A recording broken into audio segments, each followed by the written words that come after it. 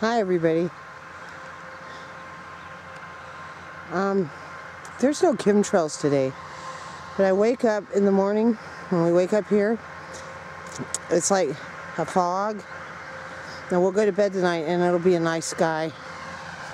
Um, it's white over here by the sun, but there's not been any trails today. But if I look off in the distance, see, it's really hazy.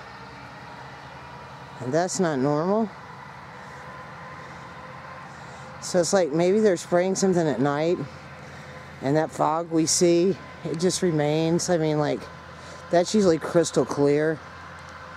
And I don't know what it is. I mean, like I said, there's not a cloud uh, anywhere. But, I mean, even across the street from me, it's hazy. I mean, it's just not normal. So I'll wake up tomorrow morning and I'm sure it'll be very foggy. It's just this yuck.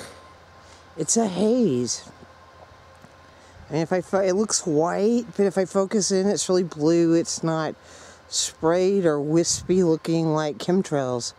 So something else is going on.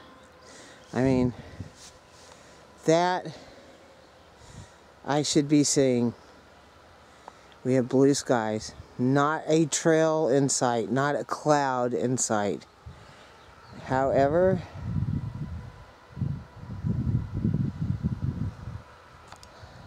it's just haze.